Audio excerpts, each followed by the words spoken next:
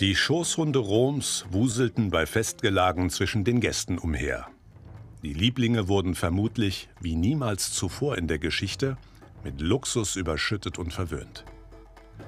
Doch nicht allen Römern stand der Sinn nach solchen Hündchen. Auch Jagdhunde hatten ihren festen Platz. Windhunde waren beliebt, ebenso wie Bluthunde und Bracken. Oder massige Molosser die unerschrocken auch Wildschweine anfallen. Der auf Angriff trainierte Molosser stand auch zur Unterhaltung der Massen hoch im Kurs.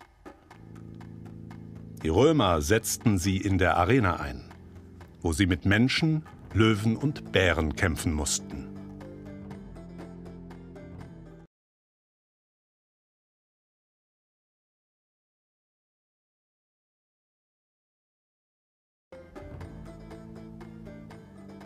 Die Schoßhunde Roms wuselten bei Festgelagen zwischen den Gästen umher.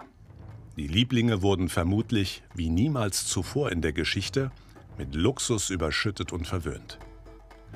Doch nicht allen Römern stand der Sinn nach solchen Hündchen. Auch Jagdhunde hatten ihren festen Platz. Windhunde waren beliebt, ebenso wie Bluthunde und Bracken. Oder massige Molosser, die unerschrocken auch Wildschweine anfallen. Der auf Angriff trainierte Molosser stand auch zur Unterhaltung der Massen hoch im Kurs.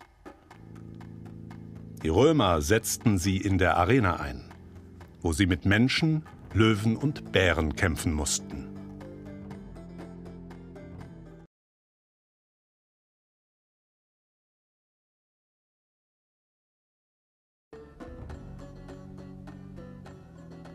Die Schoßhunde Roms wuselten bei Festgelagen zwischen den Gästen umher. Die Lieblinge wurden vermutlich, wie niemals zuvor in der Geschichte, mit Luxus überschüttet und verwöhnt. Doch nicht allen Römern stand der Sinn nach solchen Hündchen. Auch Jagdhunde hatten ihren festen Platz. Windhunde waren beliebt, ebenso wie Bluthunde und Bracken oder massige Molosser, die unerschrocken auch Wildschweine anfallen. Der auf Angriff trainierte Molosser stand auch zur Unterhaltung der Massen hoch im Kurs. Die Römer setzten sie in der Arena ein, wo sie mit Menschen, Löwen und Bären kämpfen mussten.